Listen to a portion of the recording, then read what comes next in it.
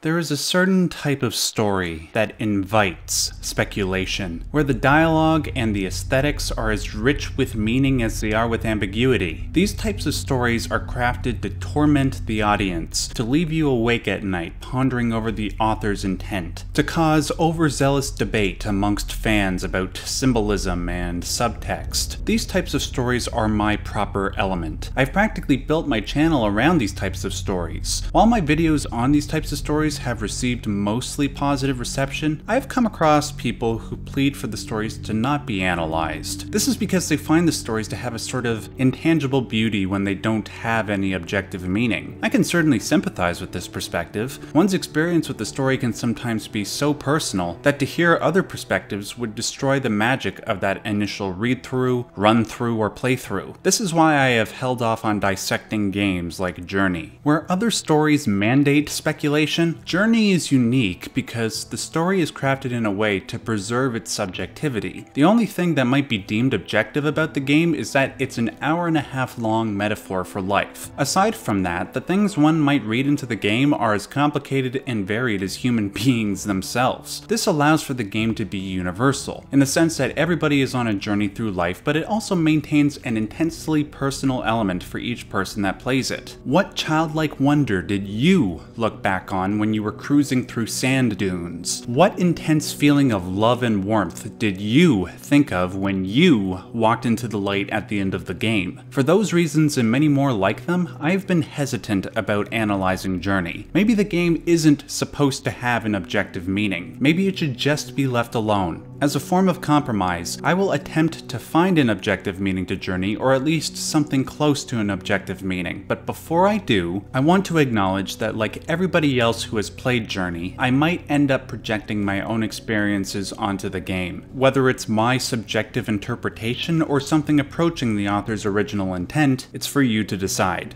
Needless to say, there are spoilers ahead.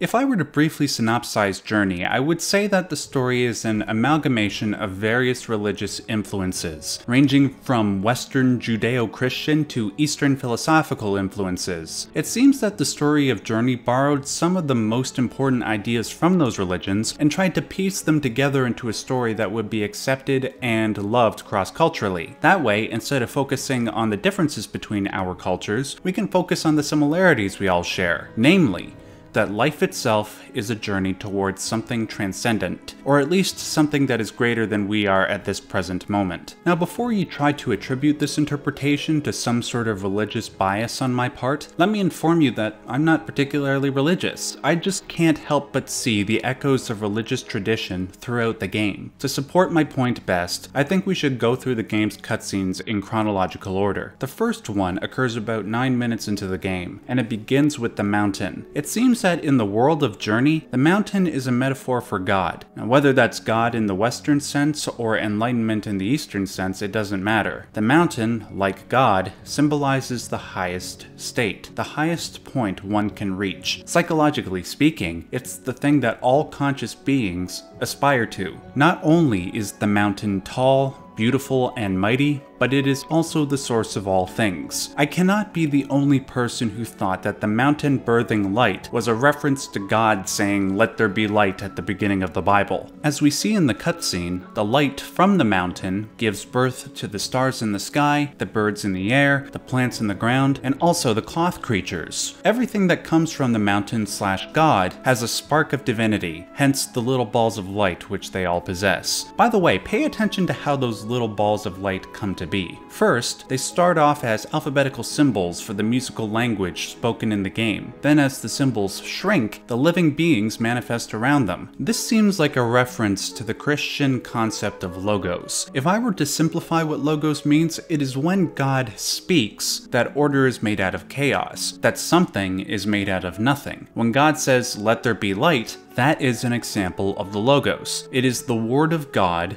creating the universe. In regards to journey, it seems appropriate that when something is created, a divine word is spoken first. Moving on with the first cutscene, we see what looks like a part of God in the form of a ball of light, with random words emitting from it. Soon after, the ball of light gives birth to the iconic red cloth, displaying various symbols from the game's language. I'm of the opinion that the red cloth is the logos the Word of God given physical form. The red cloth creates order out of chaos, physically and mentally. Think of the red cloth as sort of a religious texts like the Bible or the Quran, holy books that supposedly come from the mouth of God himself. The red cloth symbolizes not only the supposed wisdom that God can impart via the symbols on the cloth, but it also symbolizes the action that wisdom informs. While one can read the language written on the cloth and use that to enhance knowledge, one can also use the cloth to guide action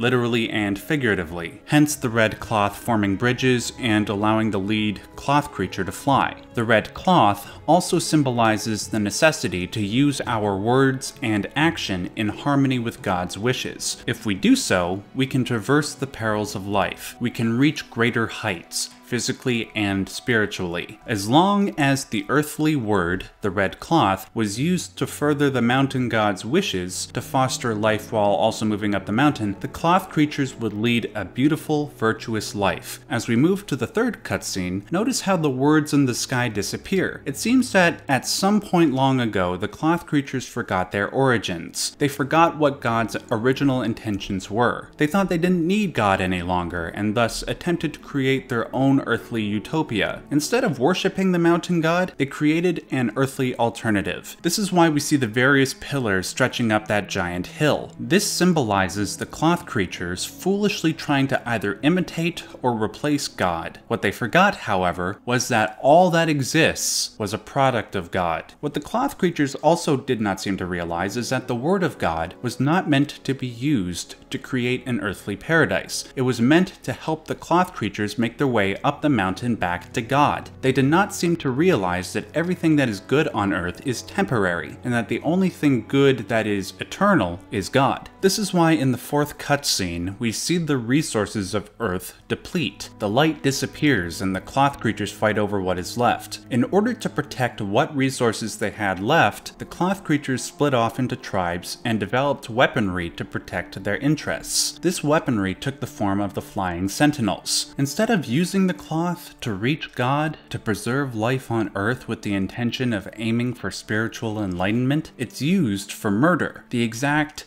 opposite of what God originally intended. To symbolize the earthly corruption of the Word of God, the sentinels that were once made purely out of cloth were now given stone armor. Naturally, because everything on Earth is temporary, this fact extends to the cloth creatures as well. Millions die, and the only physical proof they existed are the gravestones strewn throughout the land. The only way life can continue is if God intervenes. This is why in the fifth cutscene, the stars illuminate once more and the cosmos give birth to a Messiah, somebody who will traverse the lost world, free the Word of God from its earthly prison, and venture on forth up the mountain to heaven. It's important that the character we play as is red where the ancient beings were white. It's also important that I refer to our character as a messiah. In regards to Christianity, there was the belief that Jesus Christ, the Son of God, was the Logos made flesh, the Word of God made flesh. This is why I believe that the lead character is red. He is the Word of God made flesh. Now, if you think this is a stretch, notice how the white creatures in the mosaic paintings during the cutscenes don't bear a scarf, whereas the red creatures do. The red cloth creature, as a messiah, as the Word of God made flesh, was born to guide the beings that remain on earth back to God. Now, as I'm writing this, I understand that there will be many objections. Some of you might ask why there are multiple messiahs instead of just one. Why would the messiah come to earth when there aren't really any actual beings left to save. Why go to the trouble? These are entirely fair objections, but again, I refer back to what I said about how Journey seems to be an amalgamation of different religions. One could read the story of Jesus into the main character, but one can also read Eastern influences into it too. As Carl Jung says in his book, Psychology and Religion, West and East, the Christian West considers man to be wholly dependent upon the grace of God, or at least upon the church as the exclusive and divinely sanctioned earthly instrument of man's redemption. The East however, insists that man is the sole cause of his higher development, for it believes in self-liberation. The point I am trying to make with this quote is that one can see the red cloth Messiah as a symbol for Jesus, while others can see it as a symbol for ourselves, with the exact same utility. For the West, the story of Jesus represents an archetypal slash ideal spiritual journey. For the East, they don't have the story of Jesus, but nevertheless, they are also trying to follow an ideal spiritual journey that journey centers around one core truth, inherent to many religions. The ideal man maintains his virtue despite life's suffering. The West primarily uses Jesus to reflect our inner desire to live an archetypal spiritual life. The East doesn't use Jesus,